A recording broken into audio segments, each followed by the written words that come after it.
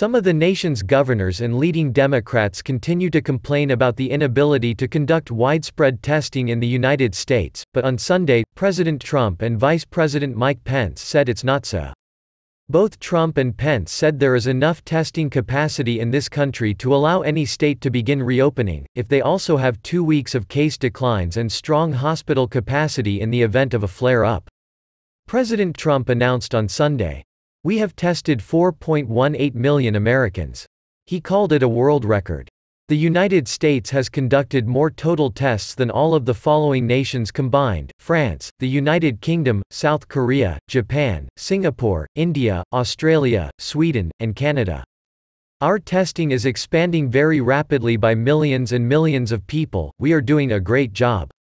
Trump announced that today, he and Vice President Pence will lead a call from FEMA headquarters with the nation's governors to review what more they can do and do together to develop locally tailored testing strategies. Before the call, we will send them a full list of all the large laboratory machines in the states. Trump said some governors didn't realize they have additional testing capacity. Many governors are relying on their state laboratories rather than the full and much larger capacity that is available to them, as an example, commercial laboratories like Quest and LabCorp. Trump said the administration also continues to procure millions of swabs and test collectors. Vice President Pence said Monday's call with all the governors will provide them with information about all of the lab capabilities that exist in their state. A month ago, we had done 80,000 tests in America. This weekend, we cleared more than 4 million. We are testing more than 1 million Americans a week. We expect to have tested more than 5 million before the end of this month. Pence said the White House task force will continue to work with governors to make sure they can manage and implement and deploy testing in a way that will help them move closer to opening their states.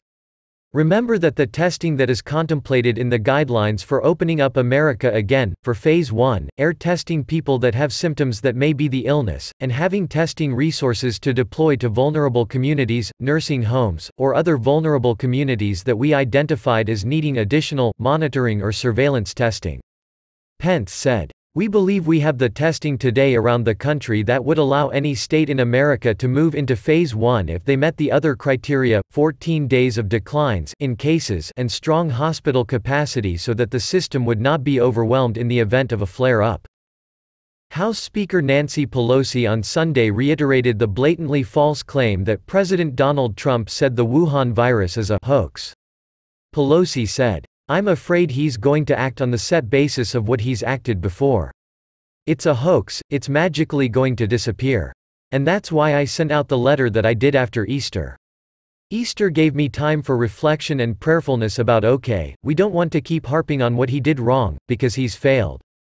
He's failed in the testing, and the rest, and it's a hoax, it's going to magically disappear. That's not based on science. This isn't magical. This is scientific. According to the speaker, if the president makes decisions based on his earlier false premises then the American people are in trouble. She said. And his earlier delay and denial caused deaths. Pelosi made the case that decisions should be based on scientific data and not whimsy, magic, hoax allegations and placing blame instead of taking responsibility.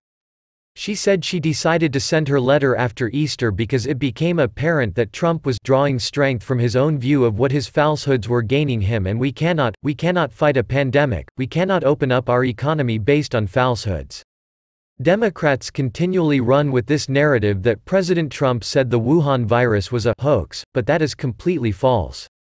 Even the Washington Post gave that four Pinocchios when Joe Biden's team used the clip for a campaign ad. According to Washington Post, at the 10-second mark, the camera shows a tight shot of the president saying the virus and then cuts to a wide shot where he says, this is their new hoax.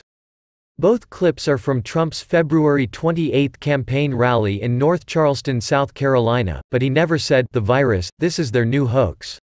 Rather, Biden's ad clipped a large part of Trump's speech to make it seem as though he had.